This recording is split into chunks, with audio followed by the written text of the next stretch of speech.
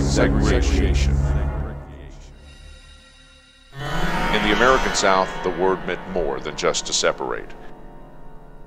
Segregation was a way of forcing African Americans into a life reminiscent of slavery, a bondage only recently removed by the Civil War. Segregation signified a code of behavior with expected subservience by blacks and whites certain of their own superiority. When political and social decisions were made, color was always a factor. In the early 20th century, justice or respect is a far cry from what African American citizens received as the result of segregation. The attitude existed everywhere, in the Cotton Belt as well as the mountains of western North Carolina, where slavery was never prevalent. Segregation made answers easy for whites when questions arose about Negro behavior. Accusations always took a darker turn to find a scapegoat. November 10, 1898, Wilmington, North Carolina.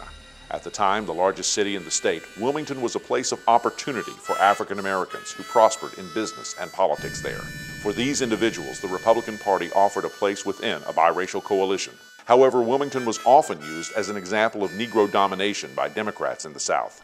1898 municipal elections exploded tensions between the two. As a result of the vote, Republicans maintained control over Wilmington city government. The white supremacists and former Confederates would not accept this outcome. Two days after the election, a mob gathered and attacked the Wilmington Daily Record, the state's only black owned newspaper, forcing its editor, Alexander Manly, to flee for his life. He never returned to Wilmington. The mob, led by Alfred Waddell, took to the streets. After destroying the newspaper press and the building, Waddell's men spent the day terrorizing the people of Wilmington, forcing many African Americans to leave town immediately without an opportunity to gather belongings before they left. They were the lucky ones. Others were just murdered. The estimated number of deaths ranged from 6 to 100. By incomplete records from hospitals, churches, and the coroner's office, the exact number of people killed remains unknown. During this catastrophe, only blacks were targeted.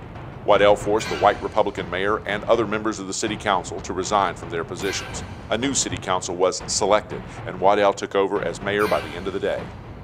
This event was the first and only instance of an open overthrow of city government by force in the United States. Neither Waddell nor any of the mob were ever charged with the multitude of murders or the coup d'etat of Wilmington city government. Many of the once prosperous African American community in Wilmington lost everything they had that day, including their lives. January 18, 1921, a 16 year old African American named Plummer Bullock bought apples at a store in Norlina, North Carolina. Noticing he'd paid for premium grade apples but got rotting ones, he wanted a refund. The store clerk refused, saying, Not after they have been in your black hands will I take them back. Brother of the clerk, Raby Trailer, who was white, suggested lynching. Bullock left the store. The incident was thought forgotten.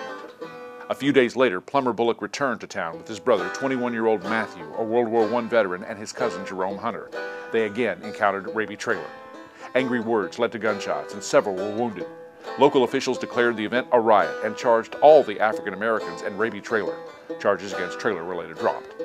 A mob gathered at the Warren County Jail where Plummer Bullock and Jerome Hunter were being held. The vigilantes took the two men from the jail, who were later found on the side of the road dead from bullet wounds. Fears of protest by the black community convinced lawyer Tasker Polk, the nephew of the 11th president, to gather a group of whites to disarm African Americans in Warrenton.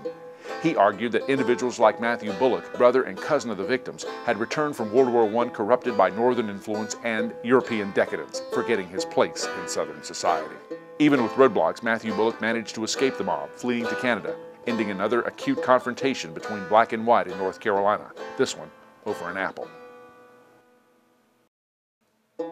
June 21, 1927, 5:30 p.m. 15 year old Gladys Kincaid ended her shift at Garrou Knitting Mill in downtown Morganton, North Carolina. She began her mile and a half trek home, but she never arrived.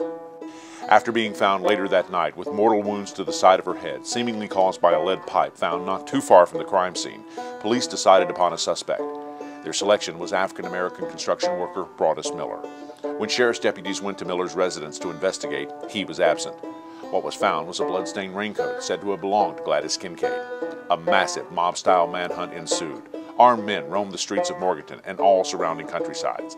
After 13 days of searching, in what was later called the largest manhunt in western North Carolina's history, Broadus Miller was spotted in Linville Falls, North Carolina. Morganton resident Commodore Burleson tracked down Miller, found him deep in the woods near Linville Gorge, and shot Miller to death. Broadus Miller was transferred back to Morganton, where a frenzy developed. Tied to the back of Burleson's car, Miller's body was dragged through the streets until it arrived at the Burke County Courthouse. One journalist reported over 5,000 people waited to see the corpse of the accused murderer. Miller was later laid to rest in an unmarked field in Statesville, North Carolina. And the story of Broadus Miller and Gladys Kincaid goes down as one of the most brutal acts of vigilante justice in North Carolina's history. Was Broadus Miller guilty of murder? Since he was denied his right to defend himself in court, we'll never know.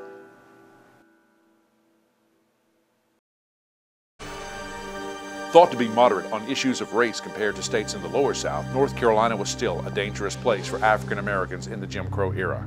168 died at the hands of mobs in the state between 1865 and 1941. The threat forced many more to live in fear of similar reprisals by the white community. It wasn't until the Civil Rights era that the cloud began to lift on injustices done to those victimized North Carolinians, and a brutally unfair but commonplace practice could be ended.